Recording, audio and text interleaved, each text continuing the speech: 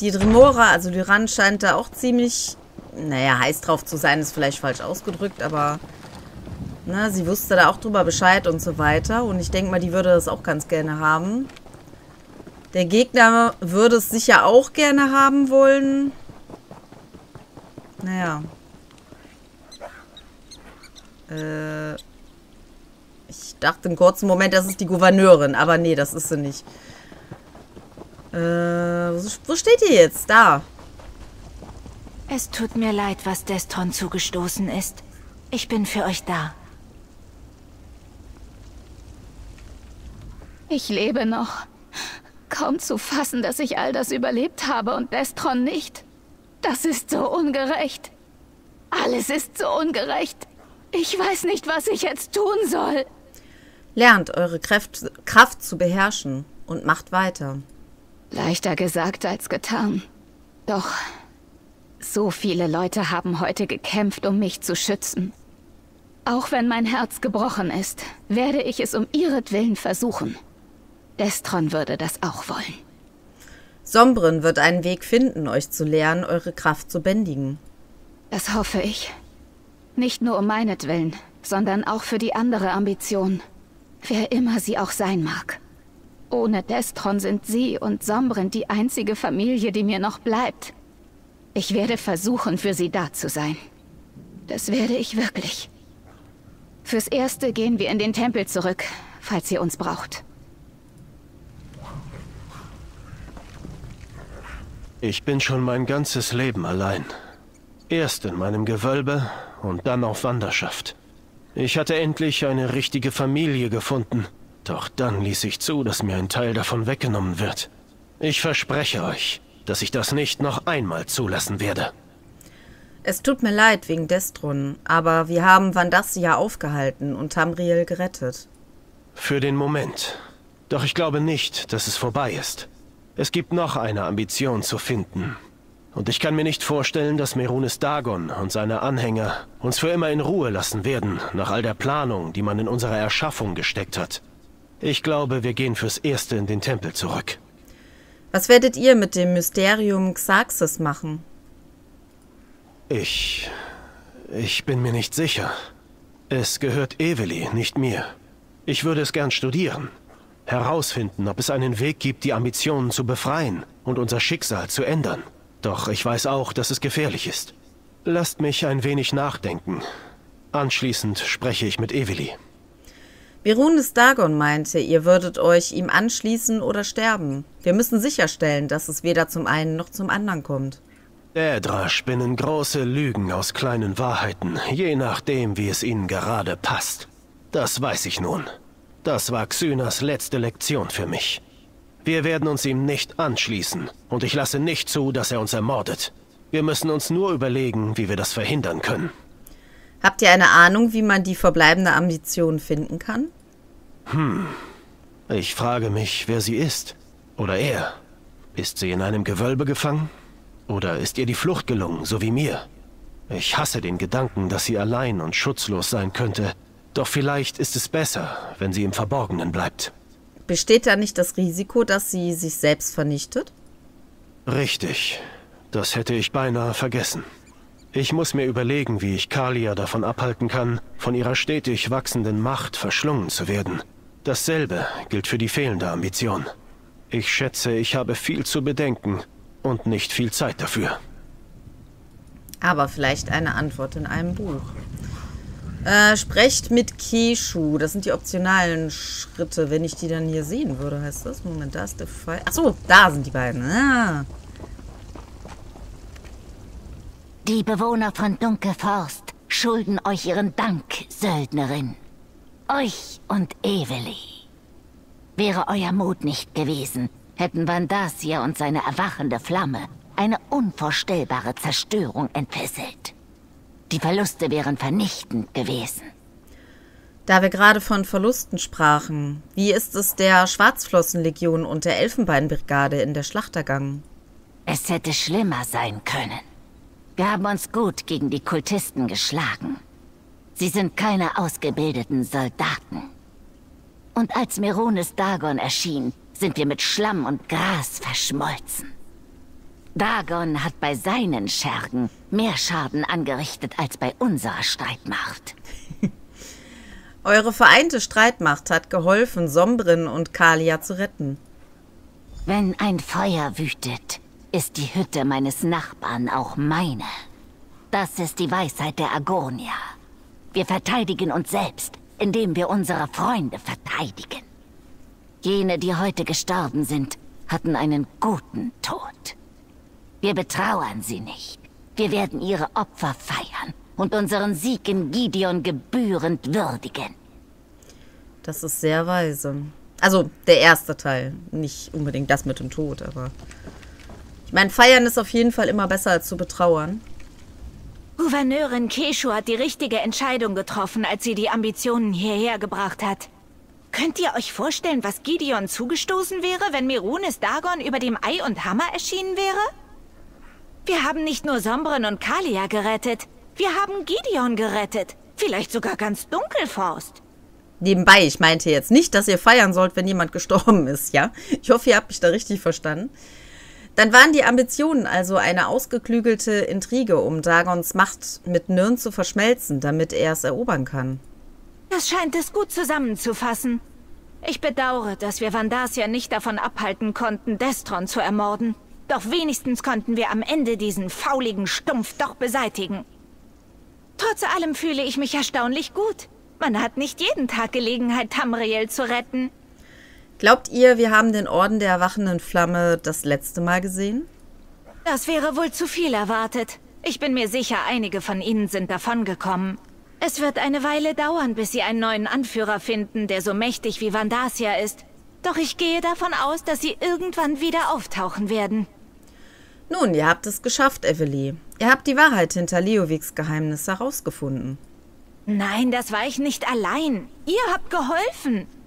Was als historisches Geheimnis begann, wurde zu einer Geschichte voller Morde, lebender dädrischer Waffen und dem Ende der Welt. Wie kann man da noch einen draufsetzen? Oh, ich weiß. Mit Krügen voller Faulmet und jeder Menge gegrillter Pfoten am Spieß. Boah, das hört sich ekelhaft an. Hört sich gut an. Was nun? Können wir uns nicht einfach eine Weile ausruhen und in unserem Glanz sonnen? Ich weiß, dass es da draußen noch eine Ambition gibt. Und wir müssen für die Sicherheit von Sombren und Kalia sorgen. Aber trotzdem. Oh, Keshu hat mich gebeten, euch dies zu geben. Eine Belohnung für die Verteidigung von Dunkelfaust. So, wir haben schwere Schultern in undurchdringlich vom Set Moorräuber erhalten. Ich habe das Gefühl, dass ihr solche Dinge hasst. Aber wir müssen zurück nach Gideon. Gouverneurin Keshu besteht darauf, eine Siegesfeier für uns zu geben. Ich frage mich, ob es da Kuchen gibt. Ich hätte wirklich gern ein richtig schönes, großes Stück klebrigen Kuchen. Was für eine Siegesfeier? Oh, eine im ganz großen Stil. Ich habe gehört, dass Gouverneurin Keshu wirklich weiß, wie man feiert. Mit Speis und Trank, Musik und Tanz. Und sie will, dass alle dabei sind. Alle? Sicher. Die Gärten hinter dem Herrenhaus der Gouverneurin sind groß genug, um dort eine ganze Armee zu unterhalten. Hey, bevor ihr euch uns anschließt, könntet ihr da noch nach Sombren und Kalia sehen? Und sie zur Feier einladen? Sie sind zurück zum Tempel von Dibella in Gideon gegangen. Sicher. Ich hole Sombrin und Kalia und sehe euch bei der Feier. Ich werde euch in Gideon treffen, nachdem ihr Sombren und Kalia beim Tempel abgeholt habt. Ich glaube, wir haben uns nach allem, was wir hier erreicht haben, etwas Entspannung und das eine oder andere Stück Kuchen verdient. Wollt ihr nach all dem noch Abenteurerin sein? Auf jeden Fall. Ich glaube, genau dafür bin ich gemacht. Man kann reisen, man trifft interessante Leute, man sieht uralte Orte und man kann allerlei Rätsel und Mysterien lösen. Und manchmal geben die Leute auch eine Siegesfeier. Eine Feier mit Kuchen. Ihr wollt nur Kuchen als Belohnung? Ich bin aus Gradwald. Habt ihr mein Volk getroffen? Es heißt immer geröstetes dies, geröstetes das. Und sogar rohes dies, rohes das. Laut den Regeln des grünen Pakts darf man nicht allzu viele Sorten von Gebäck genießen, wisst ihr? Euch stören die Gefahren des Abenteuerlebens nicht? Zu wissen, dass man den Leuten hilft, zu sehen, wie sie das auch zu schätzen wissen, ist ein guter Ausgleich für die dunkleren Zeiten. Man kommt in die Stadt und die Leute sagen, hey, da ist Eveli. Schon bald werden die kleinen Kinder hier auch so Zöpfe wie ich haben. Zählt darauf. Oh Gott. Oder hat sie mich jetzt aber gerade am Ende noch böse angeguckt? Na gut, dann äh, mache ich mich jetzt auf und reise eben wieder zurück nach Gideon, wenn ich denn hier den Wegschrein finde. Ich glaube, der war außerhalb. Ne? Bis gleich. Es freut mich, eure Bekanntschaft zu machen. Ja. Falls ihr nach unseren Gästen sucht, die sind längst weg. Wie? Längst weg. Hallo? Ich kenne euch. Ihr habt diese Gäste in unseren Tempel gebracht. Kalia, Sombren und den armen Destron. Jeder in der Stadt spricht von euren Taten in Dunkelforst. Ihr habt geholfen, den verräterischen Vandasia und seinen Kult aufzuhalten. Vielen Dank dafür. Ihr sagtet, Sombren und Kalia wären nicht hier? Das hatte ich gesagt, nicht wahr? Ich schätze sogar der Charme der Fürstin der Liebe kann für manche Leute einfach zu viel sein. Nicht jeder hält es aus, sich über längere Zeit am Stück in die Bellas Glanz zu ahlen. Doch sie waren gute Seelen. Ich mochte sie alle. Wisst ihr, wohin Sombren und Kalia gegangen sind, nachdem sie den Tempel verließen?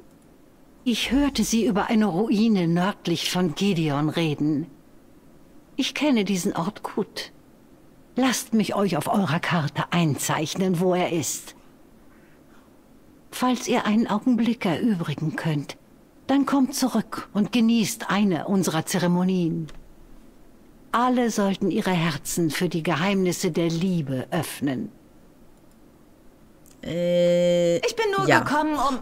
Hey, wo sind Kalia und Sombren? Es gibt brillante Geister. Ich bin vorbeigekommen, um herauszufinden, was euch und die Ambitionen aufgehalten hat. Wo sind sie? Was ist mit Kalia und Sombren geschehen? was, hast du keine zwei Minuten mal mit denen zu reden, bevor man aufbricht, oder was? Die, die Bella-Priesterin sagte, Kalia und Sombren seien auf dem Weg zu einer Ruine außerhalb von Gideon. Einer Ruine? Ich frage mich, warum sie dahin sind. Haben die beiden nicht schon genug Abenteuer gehabt, nach allem, was sie durchgemacht haben? Wir sollten die Ambitionen finden, denn sonst verpassen sie die Feier. Hat die Priesterin gesagt, welche Ruine sie genau meint? Sie hat es auf meiner Karte markiert. Sie meinte, sie wäre nördlich der Stadt. Dann geht voran. Die Feier fängt bald an und wir sollten nicht zu spät kommen. Ich zumindest hätte gerne ein schönes Stück Torte. Oder doch lieber etwas Kuchen? Ach, gebrochene Zweige. Ich nehme einfach beides. Och, Emily ist einfach herrlich. Okay, ähm. Schauen wir mal kurz. Wie weit ist die Ruine denn entfernt? Ach, das ist ein bisschen oberhalb von dem Ort, wo wir diese Scherben da äh, gesammelt haben. Dann reiten wir da mal eben schnell hin. Ist das da hinten, dieses große Gebäude? Sieht so aus, ne? Oh, ja, jetzt bleibt ja auch noch überall hängen. Wobei, nee, es geht immer weiter nach links. Es ist nicht das große Gebäude. Hm. Ach, da drin. Ja, ich habe sie gefunden. Wie lange dauert das noch, Sombren? Ich fühle mich hier unwohl. Nicht lange. Ich bin fast... Oh, scheinbar haben wir Gesellschaft. Ja, hi. Ich bin tatsächlich froh, dass ihr uns gefunden habt. Ich wollte eigentlich nicht ohne eine Erklärung aufbrechen, doch ich fürchte, Kalia bleibt nicht viel Zeit. Sombren, was ist los? Kalias Kraft wächst schneller, als ich erwartet hätte. Sie wird bald einen Punkt erreichen, an dem ich ihr nicht mehr helfen kann. Dann muss sie sie entweder freisetzen und alles um sich herum vernichten, oder sie wird verschlungen werden. So oder so sterben Leute, einschließlich Kalia. Also, was ist euer Plan? Wir setzen das Mysterium Xarxes ein, um ein Portal in die Totenländer zu öffnen. Das ist der einzige Ort, der mir einfällt, an dem Kalia sicher sein wird. Die Ebene nimmt einen Teil unserer Kraft auf. Das wird mir Zeit geben, Kalia zu lehren, sie selbst zu kontrollieren. Aber die Totenländer. Ihr werdet geradewegs in Merunes Dagons Reich gehen. Es ist eine große Ebene. Xyna hat mich gelehrt, unentdeckt zu bleiben. Und es ist der letzte Ort, an dem Dagons Anhänger uns suchen werden. Sobald Kalia ihre Kraft beherrschen kann, kommen wir zurück. Ich verspreche es. Vielen Dank, meine Freundin. Für alles. Ja. Mit dir kann ich jetzt nicht mehr sprechen. Ja, es war so das Buch klar. zurück, wenn wir wiederkommen, Eveli. Nein, behaltet es. Ich glaube, es war für euch gedacht. Da gehen sie hin. Mein gut, er hat ja schon gesagt, als letzter Ausweg würde ihm nur noch das einfallen. Die arme Kalia. Ich hoffe, Sombren hat recht und er kann ihr helfen. Doch Zuflucht in den Totenländern zu suchen? Das ist, als ob die Wurst aus der Pfanne springt, weil sie meint, das Feuer wäre sicherer. Ich für meinen Teil möchte nie wieder in die Totenländer zurückkehren. Wie fühlt es sich an, dass Sombrin euer Buch mitgenommen hat? Hey, es war nicht mein Buch. Ich habe es nur sicher verwahrt für... Nun, so verrückt das auch klingt, glaube ich, dass ich schon immer dazu ausersehen war, es Sombren zu geben. Er kann damit gewiss mehr anfangen, als ich es jemals konnte. Und ich werde die Albträume und die Wachträume sicher nicht vermissen. Was machen wir jetzt also? Wir gehen zu der Feier. Sie findet in den Gärten hinter dem Herrenhaus der Gouverneurin statt. Allein der Gedanke, dass dies alles seinen Anfang nahm, weil ich mich für ein verschlüsseltes Tagebuch aus Kaiser Leowigs alter Zuflucht interessiert habe. Wir haben das Geheimnis gelüftet und jetzt feiern wir. Wir sehen uns bei der Feier. Wer als letztes kommt, kriegt keinen Kuchen.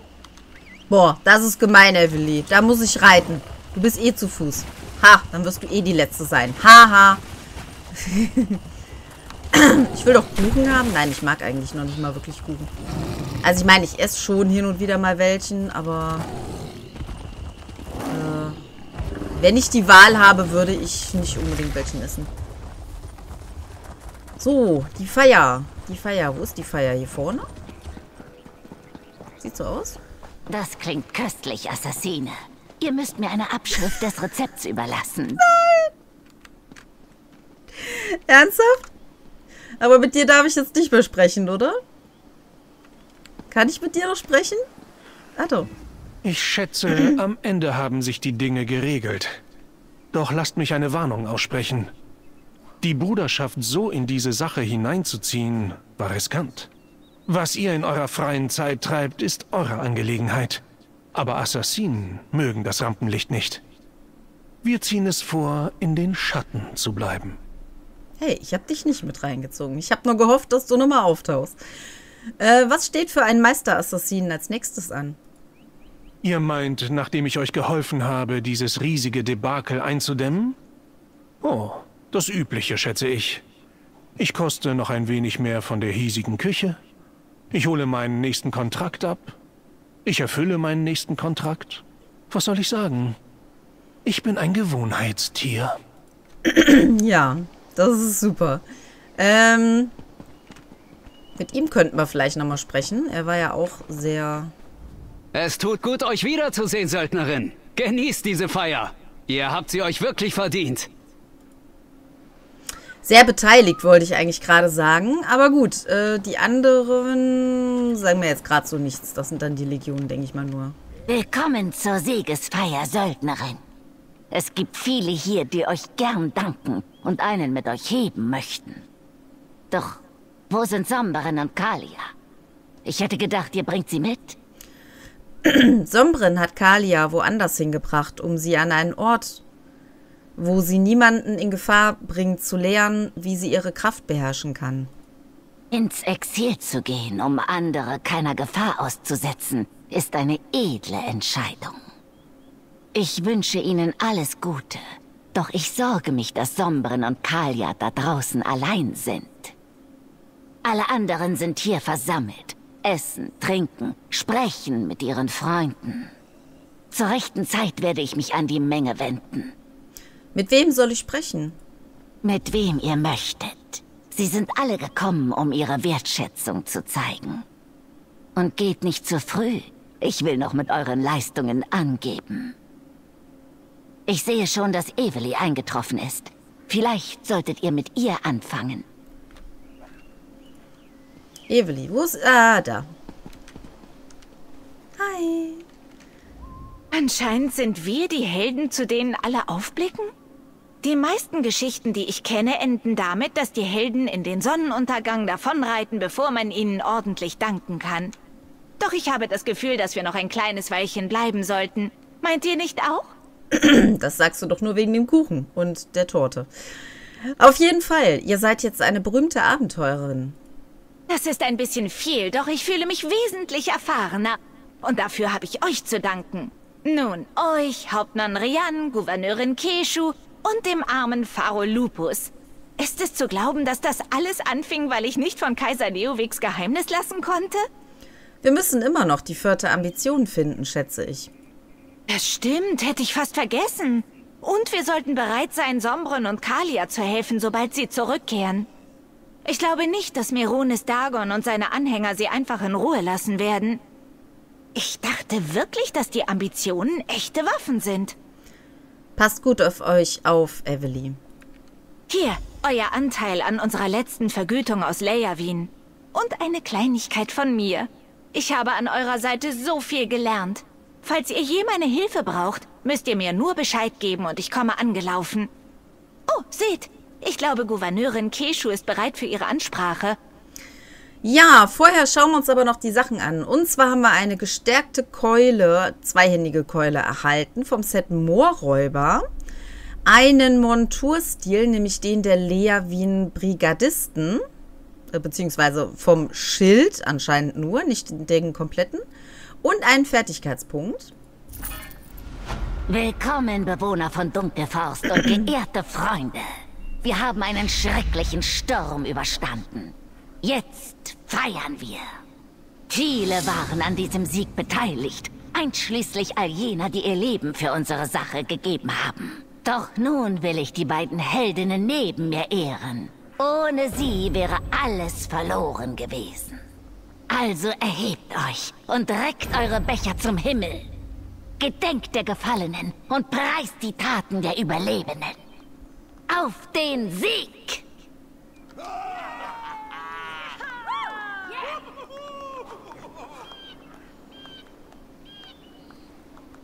Na, das war jetzt nicht so, wie ich es mir vorgestellt habe, aber naja, gut.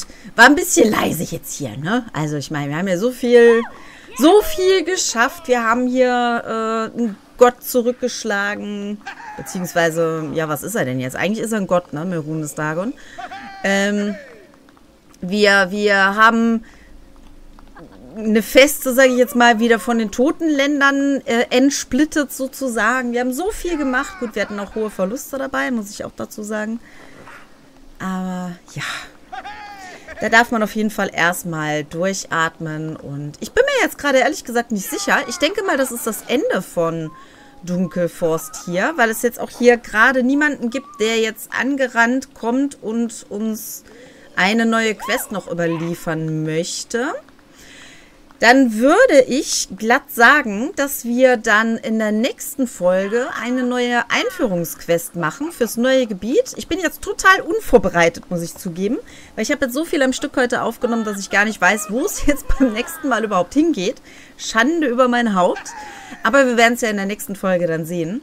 Und ja, Evely äh, starrt mich auch schon so an, so nach dem Motto, wann ist sie endlich mit ihrer Rede fertig? El Drams möchte auch endlich mal etwas zu essen bekommen. Eigentlich genauso wie Evelyn, nur sie stürzt sich jetzt wahrscheinlich auf den Kuchen und die Torte. Und ich bedanke mich auf jeden Fall erstmal fürs Zuschauen. Ich werde vielleicht auch noch eine Kleinigkeit essen, bevor es weitergeht. Und wir werden dann in der nächsten Folge sehen, ich denke mal tatsächlich die Einführungsquest zum nächsten Gebiet. Übrigens eine kleine Anmerkung noch. Leider, leider, leider. Ich habe absolut keine Ahnung, wie das passiert ist. Aber leider, leider, leider wurde ich darauf, also gut, dass ich darauf aufmerksam gemacht wurde. Leider, leider, leider habe ich Schnittermark komplett übergangen. Ich habe keine Ahnung, wie ich das gemacht habe, weil normalerweise bekommt man ja immer eine Quest, die dann wieder zum neuen Gebiet führte.